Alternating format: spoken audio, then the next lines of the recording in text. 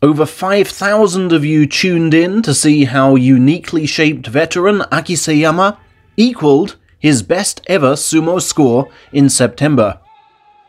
That put him on the top rank of Division 2 for November, theoretically just 8 wins away from a top division return, having been in Division 3 as recently as January. Make of his physique what you will, but never write off a man with a Saitama Sakae education. One of his biggest September successes was a force out of the man who came joint runner up with him, skillful lightweight Midorifuji, who provided his first test in November. The inevitable clash of styles made for a gripping match.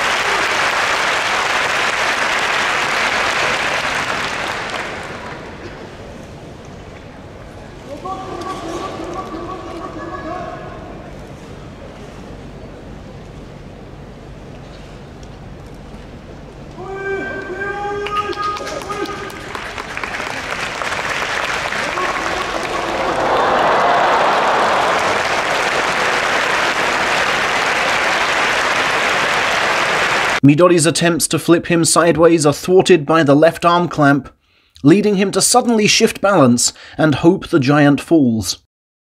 But the most defined part of the giant's body, the legs, are in fine shape and won't topple easily. From here on in, we are in classic Akiseyama standstill territory, in which he usually wears down his foe. Despite failing to get a favoured inside left, his right is easily strong enough to drive back an exhausted opponent. The popular Kise stableman dove forward in similar fashion on day 2, but, against a wily Chiyoshoma who always beats him, was simply outjumped. Against the man's stablemate Chiyonoo on day 3 though, he showed himself to be unafraid to thrust, knocking the body away just enough to make room for his favoured inside left.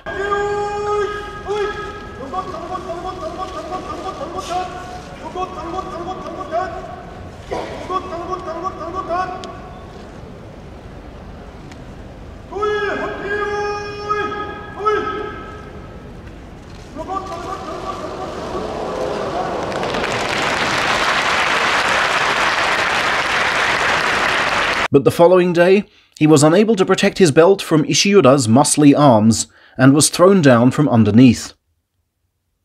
Day 5 saw him uncharacteristically full start against a man even older than him. When the match actually started, he baited Thruster Shohozan with a phony offer of a shoving match, then again made room for his inside left.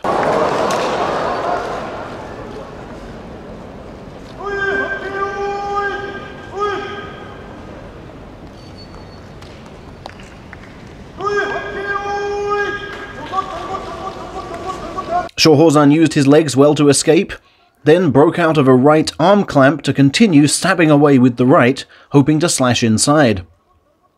A familiar path beaten from stare down to wear down.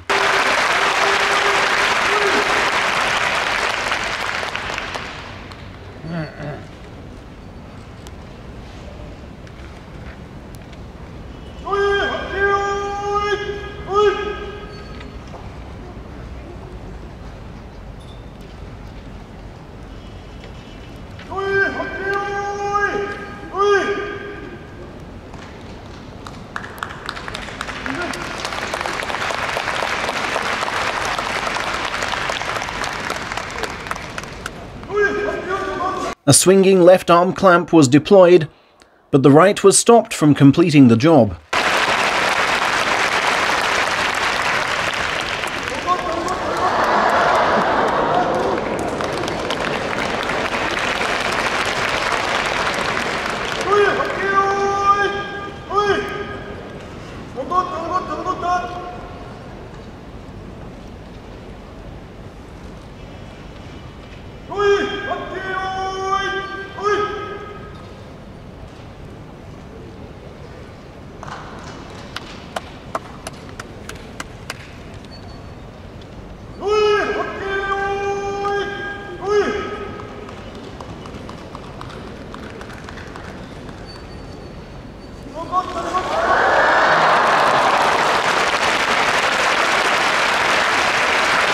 In the end, no right was needed.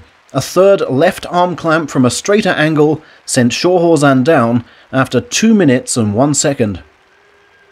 Akiseyama has always been one to place trust in the fans' patience.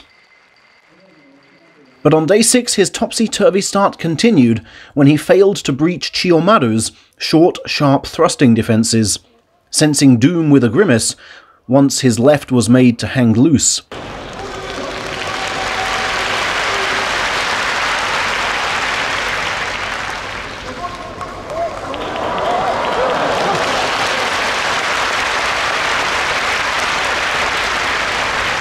Stroke of luck on the seventh day took him to 4 and 3, courtesy of a default win connected with Kotoshogiku's retirement.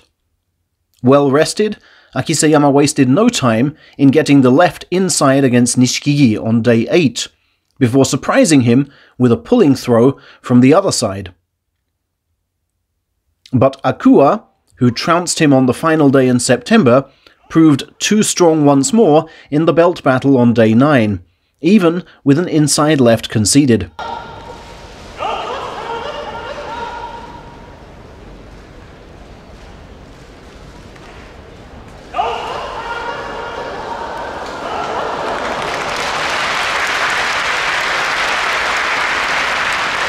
Daiamami was just as keen to block that inside left on day 10.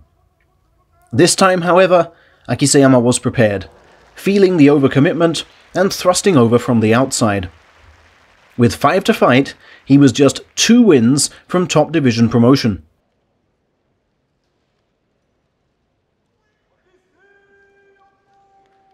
The pressure seemingly got to him on day 11 when he was forced out by the same Wakamotoharu he easily crushed in September, and when hit with a more upright attack than Daiamami's, he lost on day 12 as well.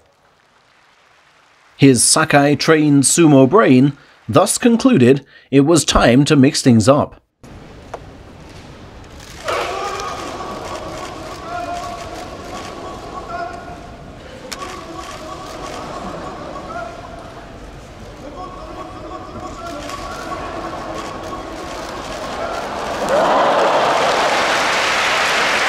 A sidestep, a thrusting blitz, and repeated slapdown moves comprised the last kind of sumo cocktail Azumaryu expected to be served. And on day 14, he forewent the belt again, opting to stand ground, then simply parry Kyokutaisei across the ring. Tactical flexibility had thus gotten him over the 8-win line. Now to fight for a higher rank in January against fellow Saitama Sakae man Tsurugisho.